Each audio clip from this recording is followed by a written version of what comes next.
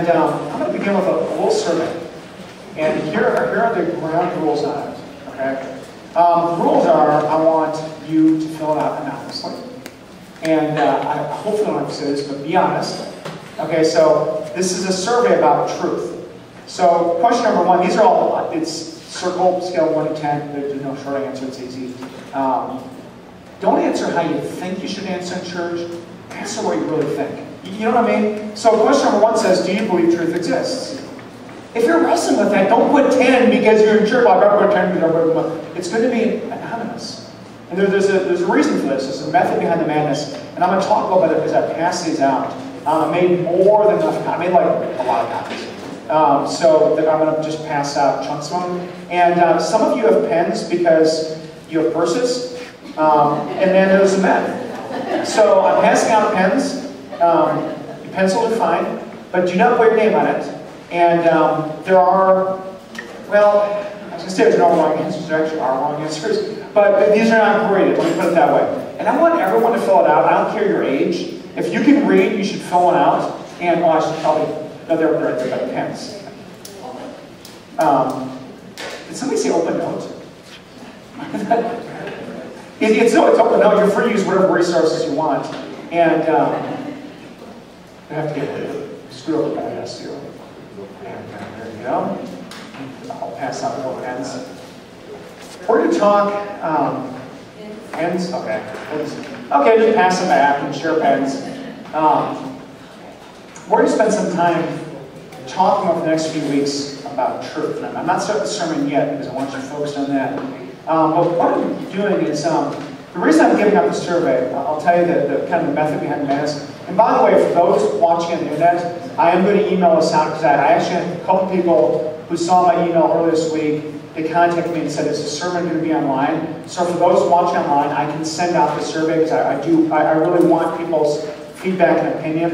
I don't care if you've been here once or a hundred times. Um, please just fill it out. You know what I mean? Um, this is based on a class I took this, this summer at Bethel Seminary in St. Paul.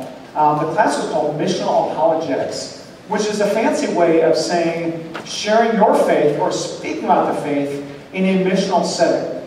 It's a recognition that one of the things that we Christians have gotten wrong over the last 30, 40 years is we don't recognize that we're mission field. Uh, we are a mission field, and people don't speak the church language a lot of us speak. I'm going to get into more of this in a second. But this class was unpacking how, in relationship and conversation, we might actually kind of unpack this. And we're going to talk about that over the next four or five weeks, um, so the next four weeks. Um, I'm going to talk today about truth, but I want to get your thoughts on it. And then what I'm going to do is at the end of the series, I'm going to pass out the same survey, but the back is going to have some short answers as well to challenge you to think, how do we, we're going to talk about this, so you know, don't get too riled up yet. How do we do a better job of reaching the community, not with the, with, with the, you know, the information about beachside, because that's not really our calling. Our calling is to reach the community with the love of Christ. So how do we do a better job of that? And my goal, I'm going to tell you my, my end goal for the sermon series. My goal is for you to be empowered to share what you believe. And I'll, I'll talk more about why that is in just a moment. If in a church, the only person who does ministry is the highly paid professionals up front, we're in huge trouble. If you say, well, you know, we paid Rusty and Chris to do like ministry, and we sit back and watch, and it was it was interesting. I was at, um, and I'll say more about his talk later on, but I was I was at the Lutheran Congregations and Mission for Christ um, annual gathering um, last week, beginning of the week, and we had a gentleman named Ed Stetzer come and speak. He is the president. He does a lot of things, but one of his hats is he's the president of Lifeway, which is the Southern Baptist. Um, publishing wing, which, by the way, if you think this whole community church thing, like Lutherans and Baptists and Pentecostals and whatever all hanging out together, if you think it's a local thing, it's not. It is what is going on. We have realized that we have enough barriers between us that maybe, just maybe, Lutherans can learn from Baptists, and Baptists can learn from Lutherans, and Presbyterians can learn from Baptists. And so, one of our keynote speakers at a Lutheran denominational gathering was a Southern Baptist minister. And he talked about that whole concept of engaging our neighbors with the truth. He did an excellent job. I'll say more about that in a second. Um, when you're done, I want you just to, let's pass them down maybe to the end of the aisle. And um, Ray and Andrew, would you guys, no, excuse me, um, Ray and Andrew or, or Rusty, you know, if you guys would just collect the surveys, because I'm going to launch a sermon. Uh, but don't overthink them, just pass them down maybe to your left. And then Ray and can just come and collect them. And uh, like I said, please do not put your names on. You're welcome to, but I want them to be anonymous. So I want to really um, get your thoughts on this. And then what I'm going to do is I want to put the numbers together and see where we're at, and then you know maybe look at after the sermon series where we're at, see if there's any shift. I to even talking about truth because truth is really it's part of our language, and you need to speak the language if you're going to share something, whether it's your faith or your choice of automobile or your beliefs about sports or whatever it is. We all know we have to speak the same language. Amen. That, that's common sense. When I was in Korea in August, I, I, I, saw that a lot of the churches have these big red crosses on them. And not the red cross like the, um, I forget there's a name for that kind of cross, but the four, the, the, the equal sided, they're regular crosses like they have in churches, but they're the color red. And they were all over the churches. And in doing some research, I found out that it was a symbol of indigenous Korean Christianity. And it's interesting because South Korea has been way more open to the gospel than countries like Japan or China. And the connection I'm making is that it was locals spreading the faith. It wasn't missionaries coming from America saying, hey, we're here to tell you Koreans about this guy Jesus who lived in uh, what is, you know, uh, we call Israel. Um, it was Koreans telling neighbors in their language, in their culture, in, in their social settings about what it is they believed. And the gospel spread like wildfire. Um, under Western missionaries, it has not in Japan, and it did not in China, although China, now you know a communist country, and the missionaries have really not been there since 1948, Christianity is booming. It's, it's interesting.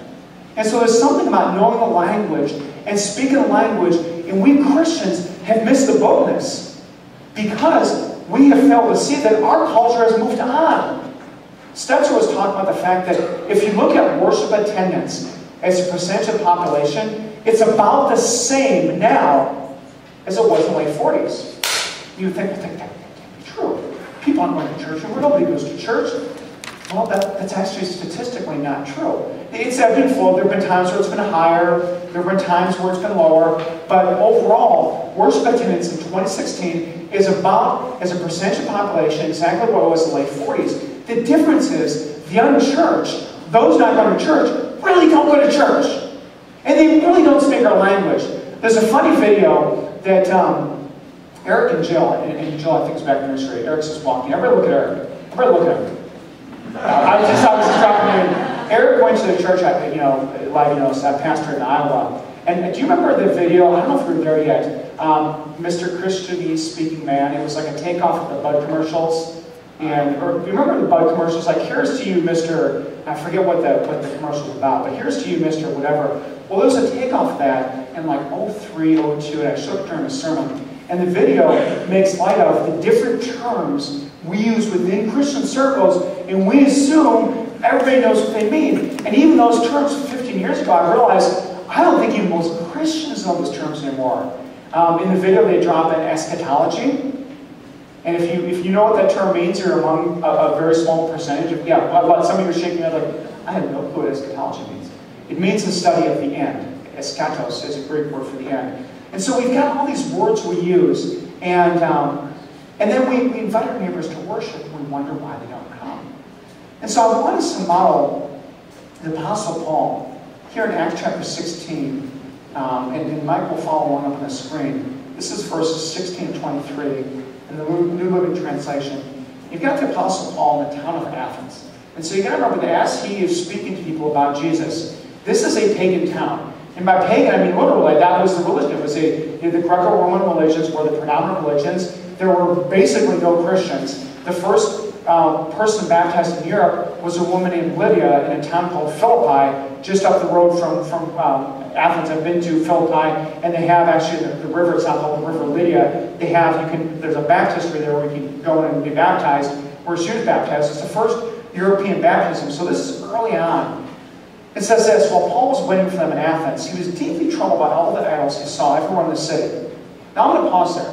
And I'm not asking for show hands, I'm not asking for amens, I'm not asking for nods.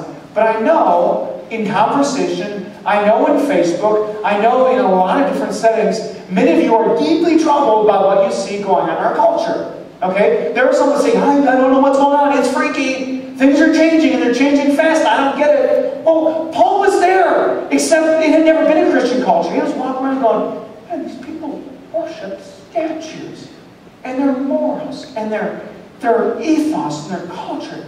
This place is bad news. And so then we see in verse 17, Paul ripped those down and he pointed his finger at the thing. That's not what you did, is it? It says in verse 17, he went to the synagogue to reason with the Jews and the God-fearing Gentiles. He spoke daily in the public square to all who happened to be there. He also had a debate with some of the Epicurean Stoic philosophers. When he told them about Jesus and his resurrection, they said, What's this babbler trying to say with these strange ideas he's picked up? Other cities seems to be preaching on some foreign gods. And I'll pause there for a second. If, if you want to be an army chaplain, th this feels really familiar. This feels really familiar. You know, because you're, you're, this, you're this religious person in the midst of a largely a-religious culture. Um, the, the, the JAG is my traveling buddy, and I was on Army duty yesterday, and we were laughing about his story. It's not funny, but it is. Um, he was telling me about a year and a half ago, he was at an event um, where we collect all social information and make sure we have up-to-date information about their you know, home of record, their next of kin, things like that. One of the things we survey is their religion. So if a Catholic soldier, for example, is killed in combat, we know to call a priest and do the last rites, all that stuff. And some of the soldiers decided it would be fun to mess with the chaplain, which it is. And they apparently told their chaplain their religion was they worshipped Odin. And so we have a bunch of soldiers, and a bunch of infantry soldiers over in Tampa whose state religion is like Nordic religions. Because we're, you know, our, job, to say, well, that's not what you really believe, just messing with me. But they had some fun. And, and, and so, you know, it really hasn't changed that much. And so they're laughing at Paul, who's a fool, babbling on about some guy who died, rose from the dead, worshiping foreign gods. It says, then they took him to the high council of the city. Come and tell us about this new teaching, he said. You're saying some rather strange things, and we want to know what it's all about. It should be explained that all the Athenians, this is um, Luke's parenthetical mark, it should be explained that all the Athenians, as well as the foreigners in Athens, seem to spend all their time discussing the latest ideas. This was like New York or LA. Who would like to hear this new religious fad? Come and talk to us. Let's go hang out with the, with, with the city council. Let's, let's talk. So Paul, standing before the council, addressed them as follows. Men of Athens, I notice that you are very religious in every way. You see that? Men of Athens, I notice that you are very religious in every way. Does he agree with the pagan idols? No. Does he worship pagan idols? No. Is it forbidden for Christians to worship pagan idols? Yes. But he says, you know what? I, I can tell you are a very religious people. And he says um, in verse um, 25, 23, For as I was walking along, I saw your many shrines, and one of your altars had this inscription on it, to an unknown God. This God, whom you, this is Paul speaking, this God whom you worship without knowing is the one I'm telling you about. So he takes this, this sliver of, of, of commonality and says, you know, you've got to get altar to an unknown God. Let me you about the unknown God. And now in verse 24 he says, He is the God who made the world and everything in it. Since he is the Lord of heaven and earth, he doesn't live in man-made temples, and human hands can't serve his needs, for he has no. Um, he gives himself life and breath to everything. He satisfies every need. From one man, he created all the nations throughout the whole earth. I'm going longer than I've got on the screen. Okay, I'll just finish this part. I, I will read the whole chapter, actually, if you guys don't interrupt me by realize I'm reading past what I put up on the screen. Um, he decided beforehand when this should rise and fall and determine the wars. And Paul goes on throughout um, that chapter to explain the gospel to people using a common language and a common point of reference. And where I want to challenge us as we, as we talk um, over the next few weeks about truth is to unpack and to figure out the language of our culture. Some of you speak it better than I do, some of you speak it worse than I do, but we all have some learning to do. You know, my, my eyes were open in some ways at uh, uh, Train, uh, Trey's teaching, but Kathy's wedding. Um, I can't tell you how many people at the reception afterwards said, gosh, we've heard so much about Beachside. In fact, if everybody who told me they had heard about Beachside was coming to Beachside we'd have like 30 more people in the building. I mean, it was amazing. I know a lot of you are like, oh yeah, I invited my next door neighbor. They're not coming right now, but I told them about beachside, and we're all going around telling neighbors. Because, you know, here, here's the deal. Here's the secret. We got a really good thing going. Amen? Like, I don't know about you, but I, I leave here, and I have to listen to myself. I leave here on Sundays feeling like, this, this is a good group of people. And we're worshiping God, and we're getting humble before Him, and He's doing things, and we're, we're serving the community. Um, you know, I, I told, you know, people in Denver, they asked, well, how's Beachside going? And I said, it's going great. We're a small, poor church. You know, we have no money. We know, we're, we're, but, but it's going great. I mean, you know, I tell them about Wayne and the, the way some of you have kind of adopted him and talk about the beach clamps and beach services. And God's doing some amazing things. And you're excited about Beachside. And I don't know what, you know, your thing may be the worship, and maybe the preaching, maybe the friendship, uh, maybe the casual nature. By the way, if you have a problem with, with a pastor wearing jeans, well, you're probably not here as it is. I, you know, um, get used to it. I do it sometimes. I don't think we have anybody who's really a, truly a first-time visitor. Um, but but that's just, it's who we are. It's not better or worse. I mean, there's nothing wrong with the church where you wear a suit and a tie. It's just not, apparently if you're here, it's not you. You know, you've got a good thing going, and people are inviting people to church, but they're not coming. And I realize, after taking this class, after listening to Stetzer speak, and this is where I'm kind of tying them all together, he talked about the fact that our job is not to invite people to church. Our job is to disciple people with the love of Jesus Christ. I've been doing it wrong for 20 years. Because, you know, we have campaigns to invite people to to church. We'll advertise. We'll do this. We'll do that. We'll have this event. And I, have been doing it that way since at least the late 90s when I interned and, in church across. And we were a big church. So we had a big building. And we had big events. Lots of people came. And I don't think we ever considered that the percentage of people that stayed was probably really low. But when you have a musical concert like Jammin' for Jesus, with, we'd have like about 1,500, 2,000 people sitting and listening to music, eating walking tacos. We have bounce houses for the kids. You don't realize, well, of the whatever percent that don't go to our church, only 1% of them came back. It's easy with big numbers to see that, that maybe, maybe that's not working. And what Stetzer suggested is what we need to do is not difficult. We need to love and disciple and get to know and speak to our neighbors. And then, after telling them about the love of Christ, you extend the invitation of worship. I'm not saying don't invite neighbors. You should. Okay, I'm not, I'm not changing. I still think we should do that. But it was revolutionary for me. And so the reason inviting people to church doesn't work real well is because it assumes a lot that isn't real in their lives. For example, we assume that people who are inviting believe in God. And I mean believe now in acknowledge the existence of. They may not. The percentages of Americans that don't believe in any God is still really low. But we're making assumptions about our neighbors. That they believe that God exists. And then we assume that the person has actual faith. There are lots of people out there that will tell me, especially in the army, I believe God exists and I hate him. I've heard that. I'm angry. Why did he take my mom when I was eight years old? If he exists, I don't want part of him. If he exists, I'm angry at him. If he exists, I think he's mean and judgmental and his people suck. Can I say that? I think I just did. I, Bryce was coming out, I'm like, that's not church word, you know, get it back. But I said it. You know, because that's what people say about us. Well, I believe there's a God. I want nothing to do with that God business. So we assume when we invite, hey, come to Beachside. We got really good music. Crystal Light, too, if I, if I need more caffeine, which I don't. You know, we assume that, that people actually have faith in God and, and want to know more about God. We assume that they have a felt need to go to church. You're here, I hope, because you find some kind of value in being here. And it's interesting when I talk to people, you know, here at Beachside, I'm like, why do you come? I, I love the people. It's my time to worship God. I humble myself before God. I need to hear somebody else teaching. You know, for me as a preacher, one of the worst things about being a preacher is you have to listen to yourself. And I make light of that, but I'm serious about that.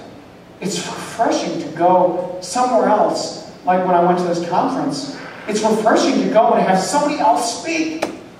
It's refreshing to go. One of the reasons I'm pursuing my doctorate is not because I want doctor in front of my name, but I need people that know more than I do to tell me stuff. Because there's a lot I have to learn.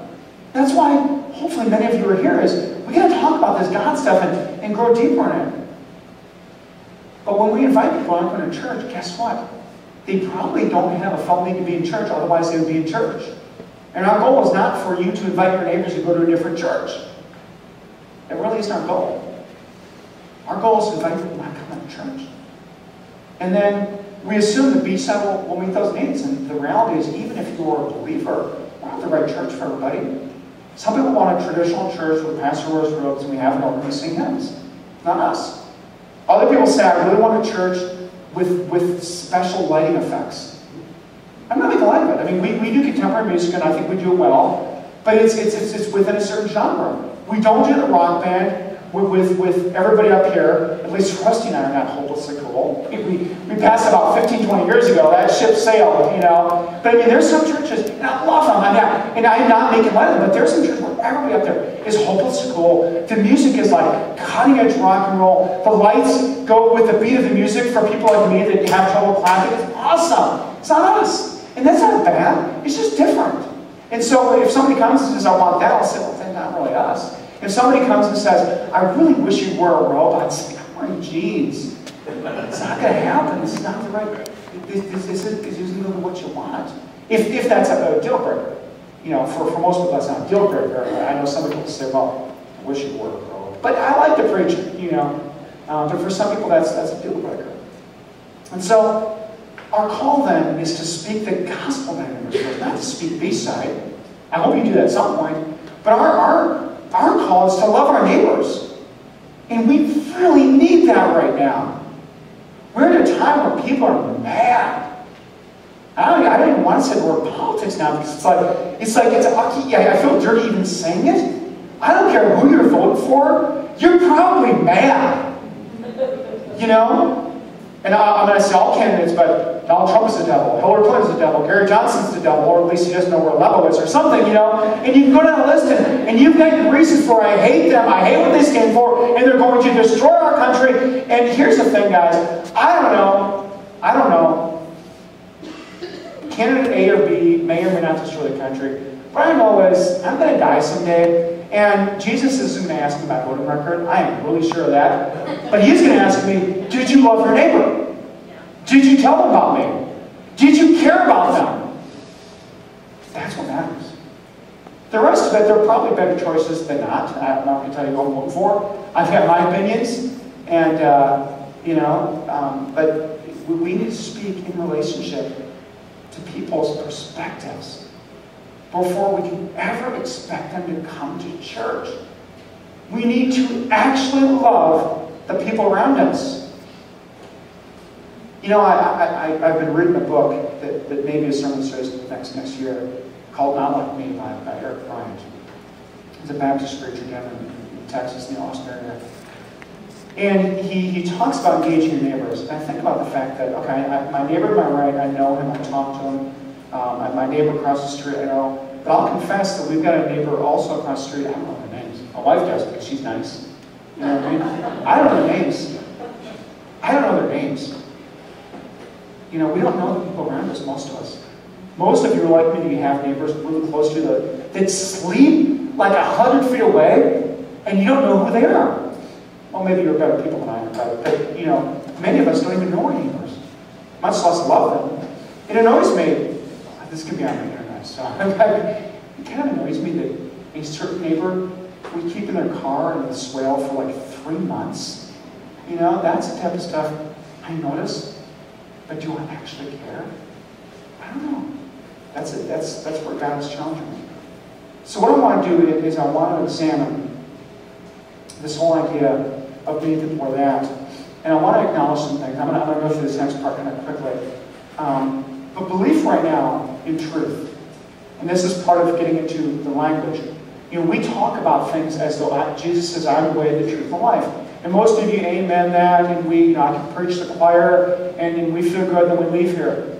But our culture increasingly doesn't believe in truth for, for a lot of reasons. Uh, you know, modern society believes in truth. How many of you have heard the term postmodern? Okay. Some of, some of you have. Um, this is about a 20-year-old term. Um, the 20th century was marked by what we would call modern culture. Modern culture is highly scientific, um, highly um, structured around you, you explore, you discern, you discover truth, and, and that is the end of the story. Postmodern culture, um, and there's, I could go into, like that could be a whole series of lectures just by itself. Postmodern culture in many ways began to develop in response to um, the crisis of faith we have in our government and in public institutions beginning in the 70s. Watergate, Iran-Contra, you know, Whitewater. I mean, it's like every president, it seems like they do something really awful, and then we lose more and more faith. You know, Congress, the approval rates are like one-third of 1% or something really low. You know, there's a one guy somewhere in Nevada who says, yeah, I, I, I trust Congress. And the rest of us can't stand it. And so we've moved in this thing where we don't necessarily believe in truth anymore. And, and so that's called postmodern society. And I'm not going to give you the, the, the whole, like I said, the whole breakdown of what postmodern culture is. But we live in a society nowadays where people don't necessarily believe in truth. And the first time I really saw this up close was teaching confirmation about 12, 13 years ago. It was at Church of Cross where we had a ton of kids, like 100 kids in confirmation. And I'm talking to a seventh grader, and seventh graders are smart ass. Anyway, they're just being in seventh grade, everything you say is challenging to the person saying to. But there's a young woman, young girl, who we were talking about truth, and she said, Well, I don't believe in truth. I think whatever you believe is fine as long as you really believe it. I said, Well, clearly some things are true, right? And she said, No. And I said, So if I get up in a chair and I touch the ceiling, it will move. No, it's only if you believe it. And I got up on, I, I got up on a chair and I pushed on the ceiling tile, which as I predicted, moved. My hand didn't go through it. I don't have Jedi powers. It moved, and I was able to move the ceiling tile. And she still wouldn't acknowledge, well, I just think that whatever you believe is fine as long as you believe it. That's our culture. Some of you may scoff at it like I do. I don't get it. I didn't get this young woman, but you know what? She is in the majority among our age group. And we can, we can sit here and say, that's stupid, that's dumb, I can't believe people think that. Or we can love them enough to say, you know, I see that you're very religious, like Paul did in Athens. But let me tell you about God. Because there are some churches doing incredible things, bring people to have different worldviews to faith in Jesus Christ. So for Christians, we need to move beyond because arguments. Many of you are like me. If it's in here, it's true. I believe that. 110%. Because the Bible tells me so is a really good defense. If you tell me, how do you know Jesus rose from the dead? And I say, because the Bible tells me so, guess what? I'm right, you're wrong, end of story. I'm sorry. Just if, if, if, if, you, if you find your life out of conformity with what this says, it isn't this book. It's you. And I find myself all the time out of conformity where I'm less loving or less humble or less whatever. And the problem is not Scripture as much as sometimes we'd like it to be. It's me. But guess what? My neighbors don't believe that. And that's not a great way to tell them about Jesus. Why do you believe that? Because the Bible tells me so. I don't believe the Bible. And that becomes like a mic drop argument. They don't believe it. So what do I say at that point? So I have to learn the language if I care about them. If I don't, I can just say, well, that's fine, we'll go to church on Sunday, and we'll be a club of holy rollers, we'll do a holy roller thing, and I got my Bible, and I know this, I know, friends, this is the inanimate Word of God. I believe that. Where I'm at variance with Scripture, the problem is me, it's not Scripture. Now, that doesn't mean every interpretation is correct. You can take things out of context, I get that. You can take a lot of things out of context, so the Bible says this. The Bible, you know, at one point Paul tells his followers to you know, I forget which town it was in, but grabbed my, my scroll my cloak. Oh, we don't sit here and say, okay, folks, we got to find it. You know, the Bible tells me, the Bible tells us to find his scroll cloak, so go. Okay, so you still take it in context. But our neighbors don't necessarily believe that. So how do we engage them? We begin by, by talking about truth. And this debate over truth is nothing new. I think in many ways history is cyclical. You know, Jesus, in talking to Pontius Pilate in John chapter 18, very famously, you know, when Jesus proclaimed that he was the truth, uh, Pontius Pilate said, it's truth. So this is nothing new. What goes around comes around.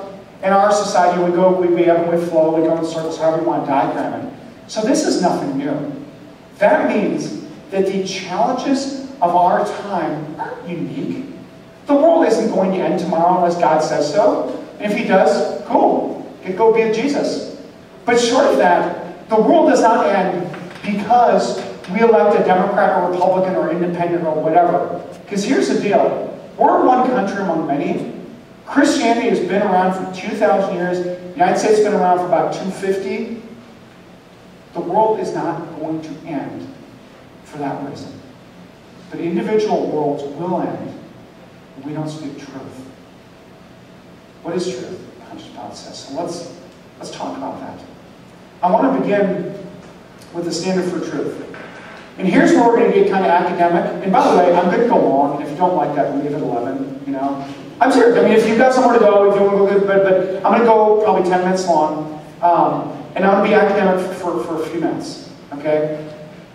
How do we decide if something is true? And this was a chart went through in class. It was interesting. Um, there's a scale that um, Dr. Clark, our professor, um, I, don't, I, don't, know if he put it together, but, but he gave us this scale. On the one hand, you have hard fideism. Fideism means you take things by faith. Everything's by faith. I don't need any proof. It's just faith. In fact, proof might be of the devil. I don't want any proof because that's going to be harmful to have any evidence because if I start to accept that evidence is helpful, now I've taken away from faith and I don't want to hear the evidence. For example, all you Mormons out there, the Book of Mormon is written about fictitious cities and fictitious places um, and fictitious people that have no grounding in history. And when I was at the, the, the, the whole tabernacle, or the, the convention center complex in Salt Lake City, and they do the little tour, and they give you their little thing, I, I was politely debating with an older gentleman standing, you know, at one of the things, and, and I asked him, so you guys think that the Jews end up in North America, some of them, or not the Jews, some of the Israelites end up in North America. Yep, yep, yep. And which language did they speak? Well, they spoke Reformed Egyptian. Now, let me take a time. That doesn't exist.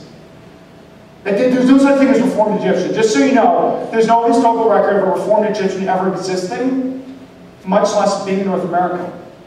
And the idea that, that hundreds of years after, hundreds and hundreds of years after they left Egypt, 700 years to be exact, they would be speaking Egyptian when we know for a fact they spoke Hebrew and Aramaic. So why they would end up in North America and be speaking Egyptian is crazy talk. Not to mention, you can go to the pyramids in Mexico. I've been there in Chichen Itza. There are no hieroglyphics. There was no Egyptian. They didn't speak it. They didn't end up here. It's not real. But if you get a Mormon missionary, they'll say, well, it's not about evidence. You just need to pray and you feel a, a, a warm, tingling feeling. That's what they call the Holy Spirit. It must be true. That's an example of hard fideism. You can believe it. Doesn't matter any evidence. In fact, if there's evidence, that evidence will, will, will cause you to trust evidence. You don't want evidence, so evidence is bad. Soft fideism says, well, it's helpful, but you really don't need it. Soft rationalism. Rationalism, on the other hand, says, one of the ways you discern truth is through the rational minds that God gave us. Because these are all perspectives that the various Christian philosophers have held. So let's say, you know, God gives a mind, use it. And so rationalism, um, there's, there's soft and there's hard. Hard rationalism says you need 100% proof.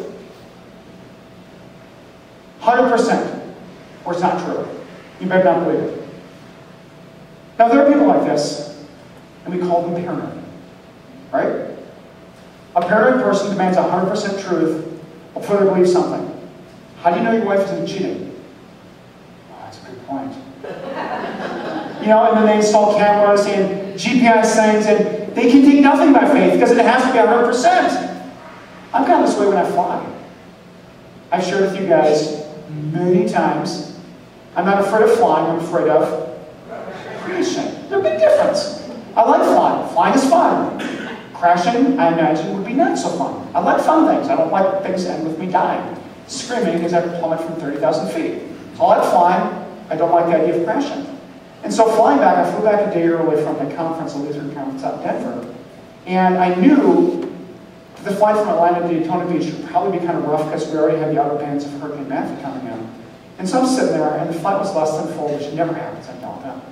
And a pilot comes, I've got open seat after everybody's sat, and there's a pilot comes and says, can I sit, is this seat open, can I sit here? And of course, I, I have the, the, spiritual gift of sarcasm, and so I said, absolutely, but I don't think you can fly a plane from there. you know, I'm sure he's never heard that before. You know, he kind of chuckled, I said, I, I don't, you're, you're, not, I, not flying a plane. I thought, score, I have a pilot next to me. Because I don't like when we start doing the bouncy, bouncy thing. And I don't know, are we going to die or is this just bouncy, bouncy? Because I like roller coasters. If we're just doing bouncy, bouncy, that's fine. If we're about to plummet to our death, I would like to know. So I can pray with people and be like the pastor of the airplane or whatever I would do. I probably would cry. But, um, and it was cool because he sat next to me I was asking him all kinds of questions. And he's the type of person loves to answer questions. And he actually took out his tablet and showed how they avoid turbulence now. And it was really cool. We had no turbulence on flight. You know, they navigated around the different storm clouds. It was really cool watching it in real time. Um, and, and, and so, you know, if you need 100% proof, you are going to be an unhappy, paranoid, uh, just delusional person. And so the argument um, that, that I'm going to make is that we, we fall into something called soft rationalism. Listen, there's some things you have to take. I don't know anything 100%. I cannot prove to you right now that I'm not in the matrix and you're all a computer simulation. I cannot prove that. I'm fairly certain, though. I'm about 99.9% certain that's not true. I can't prove it, but I'm pretty, I'm pretty sure. Okay? And so we fall under what we call soft rationalism. Evidence is, is helpful. I love the fact that when it comes to the New Testament, I can go to Philippi. I can tell you, like I did earlier, lady was baptized there. She was a real person. And Jesus, I can go to Jerusalem and say he was crucified there, and the temple was there. These are real places and real people. There is evidence. We believe by faith, but you know what? There's evidence. And that's a beautiful thing. And so our standard for truth is that we acknowledge that, yes, you do need evidence. There's some things you have to take by faith. But it's kind of like in a, in a court of law. You never prove anything 100%, but you believe in a reasonable doubt. Okay? And it's not, that's not a perfect correlation, but soft rationalism acknowledges um, that, that, that we, we do want some semblance of, of, evidence and truth. And by the way, I'll take a time out. I wish I had heard this when I was y'all's age. I'm pointing younger people, Smith kids, um, all the younger people, because you're the ones. I'm, I'm going to be retired like relatively soon. I realize like 25 years is a really short amount of time. Good luck, because it's going to get worse. Okay, so we can sit back and we're like 70 years old. How do you guys do this? And I can judge your worship style, and I can laugh at you and say, I'm so bad, I don't have to evangelize now. Except I will. You, you never grow out of it. But I, I, I do wish I'd been taught this when I was younger, because my generation would question. So our goal is to move people, you know, from that point of disbelief to the point of belief. And one of the ways we, would talk about it, and I'll just talk about the slide real quick, and I'm gonna, I'm gonna kind of revisit this over the next few weeks, is moving people, if you picture a river, this is like a river where first we're talking about whether or not there's truth. Is there truth? Is truth knowable? Um, does God exist? What is the character of God? Is he a good God? Is he a mean God? Does he care about you? Can you have a relationship with him? And you move people to faith in Jesus Christ, which we're going to do over the next three weeks. We're going to talk about those. And, you know, we have questions. What about people committing violence? A lot of people will ask me about that. Like, I mean, it's not that I'm against Jesus, but you Christians have done such horrible things. How can it possibly be true? Well, we need to own it. We, we need to talk about it. We need to wrestle with that. Questions of, okay, if Jesus is the way, the truth, and life, what about the kid in rural Afghanistan who's never heard of Jesus? And we need to be able to address those things, even if we don't have the answers, to acknowledge those are, those are real questions. So we want to move people to, to a point of faith. So what is the argument then for truth? Okay, today we're going, to, we're going to talk about truth. Now, I want to define first and then um, talk about some of the arguments for truth. Truth, is I'm is statements of fact or description that accurately reflect real world reality. What is actual? What is truth? Well, Pontius Pilate is it, it is what is really. What is really? What is actuality? Because the thing is, at the end of the day, there, there is a reality somewhere. If I was actually living in the matrix right now, that, that's real. I mean, it's, not, it's almost, I mean, I know it, but that's actually real. So there is a truth. There is a reality. But knowledge is a person's awareness then, your apprehension or possession of what is true. So we're not just talking about truth, we're talking about the knowledge of the truth. And I want to kind of, kind of unpack that um, for the next couple minutes, and then we're going to tie it together and finish for today. So what are the arguments for truth existing? Well, first of all, the way we live. We live as though we acknowledge things to be true. We live as though we acknowledge things to be true. You get in your car, you drive to Publix, because you looked on the website and you know it's open from 8 a.m. to whatever, 10 p.m. That, that's, that's, that's truth. You believe that to be true. Now, how crazy would it be if my wife said to me, let's go to Publix to get dinner, and I said, I don't believe it exists. I don't see it. Well, but you've been there before. I don't see it now. Well, let's just go. Really? Waste the gas? How do I know if there is a Publix? How do I know it's open? Well, the website, I don't care about the website, is probably a globalist lizard conspiracy or something. You know, they're trying to get me to believe that there is a Publix and the aliens are like, I don't believe there's a Publix. And I don't believe some website of dubious character and content. We live as though things are true. Right? We get in cars, we fly airplanes, we go to schools. We may not agree with everything, but we do acknowledge, because you can't live your life. This argument that there's not truth is defined by the way we live every single time we get up in the morning. And the people that live as though there is no truth end up with like aluminum foil hats sitting in their houses with their guns, you know, scared of the postman. Do you follow me? Now, we may argue about whether or not A or B is true, but the way we live acknowledges that some things must be true. We know by experience, and don't make fun of us, but human intelligence exists. And we can laugh, oh, well, we went to Walmart yesterday, I don't think there's any. but the reality is, right now, I'm standing here, and I am communicating to you. Doesn't that blow your mind? That should blow your mind. I am standing here, and there are some people that claim that this came from nothing, it just happened.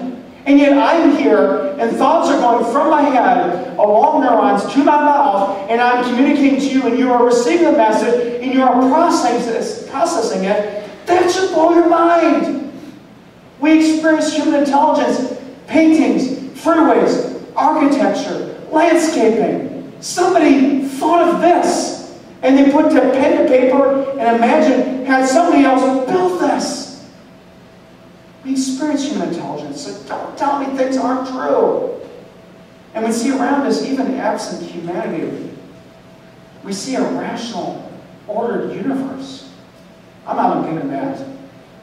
But it's fun to study the, the different mathematical formulas that govern our, our universe. And then we step back inside. Things have a chance. Really? Hmm. That takes a lot of faith. Doesn't take logic, though. And we experience a desire for truth. And again, I'm not going to break this down much. But we have desires for certain things. Many of you are here in church because at some point you I just want to figure it out. I want to figure out what's true and what's not true. And we have a desire for things that exist. And how strange would it be if, in fact, we're just some random mutation that we exist because we do. How strange would it be that a whole six billion of us that have the concept of truth and there be no such thing? I, I think that the desire for truth is, is one of the arguments for truth. And none of these is conclusive, but the bigger point is that we live as though things are true. So then, what about knowledge and what about forming beliefs? Well, there's four that I'll include 12 minutes to talk about briefly. We, we form knowledge through authority. I trust Scripture. Now, your neighbor may not, but they trust somebody. They trust something. Whether it's the internet or their school teacher or whatever, there are authorities they trust. We trust our experience. I, have told the story over and over again of the woman in Iraq that, that came to faith for seeing Jesus. Um, that's not, she's not the only one. There are some people that their faith is by experience. And we all have different experiences, we all have different faith experiences. Um, we, we learn things and we form beliefs based on perception. I look around. How about you?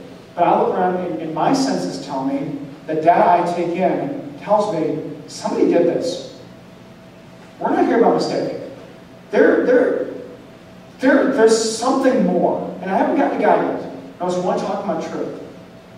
And then I, I, I make inferences. I, I, I logically put together what people say, my experiences, my senses, and I put it all together and say, yeah, these are true. There's truth out there. I, I, I want to find it, but there is truth out there.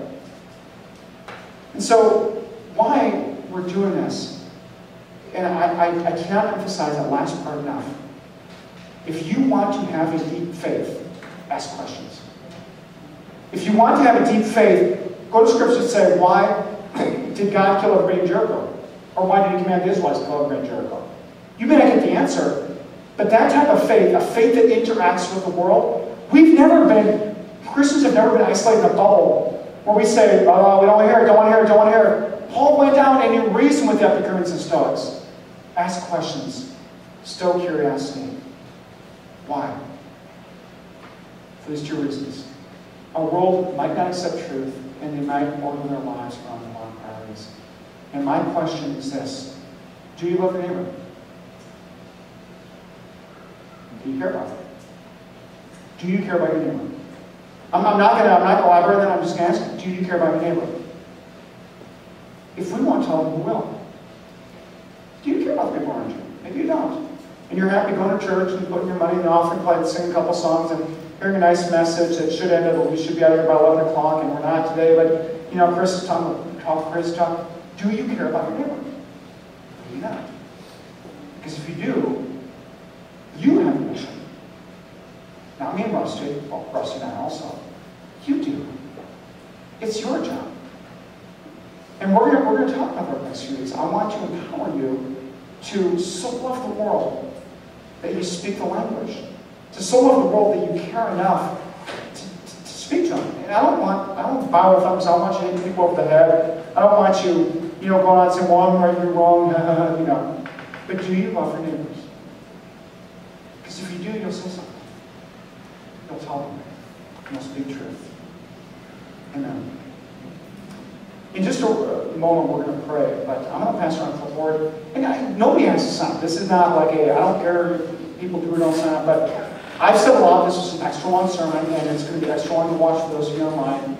Um, but I'm going to, if, if, you want to sit and talk about some of these issues, during the sermon series, I'm going to just going to collect, if anybody does, um, we'll, we'll, see a time that most can meet, or we go a couple meetings. Um, and if we don't, that's fine. But if this is something you'd like to unpack further this week, you don't have to be there every week. If you can make it this week, you can't make it next week, that's fine. I'm going to pass this around in an offering. And um, so just when it gets to the end of the section, just make sure everybody gets it. And, um, and we'll talk. Next week, we're going to unpack more about the existence of God. I've made the argument that truth exists. I hope that makes a success point if you haven't.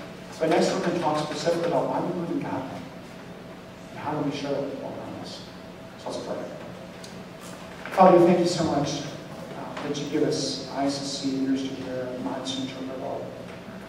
We take in a world around us. And you know, Lord, in, spite of um, what we may think or feel, especially when we get on social media or we listen to cable TV, this world is pretty bad.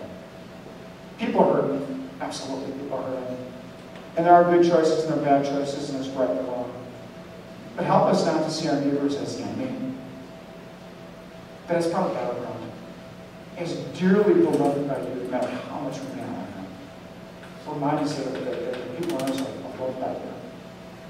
And help us to give us a language to share that love, that truth, that witness. To call the world to repentance and a change of heart, a change of ways, to follow you. Empower us, Lord God, in Jesus' name. All that's what to say. Amen.